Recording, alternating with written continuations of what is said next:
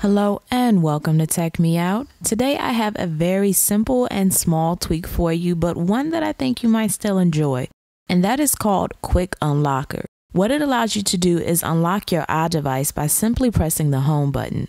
So you don't have to slide to unlock, you just press the home button and your device automatically unlocks. It is a very useful tweak, especially if you have a lock screen where you may want to disable the slide option because the interface looks good and you don't want to put anything up there to kind of take away from that or if you just want an alternative way to unlock your device. You can download Quick Unlocker free from the Big Boss repo and get a little creative with the way you unlock your device. But that does sum everything up for this tweak. There is no settings to configure, so you don't have an on or off toggle or anything like that. You just download and it's running on your device.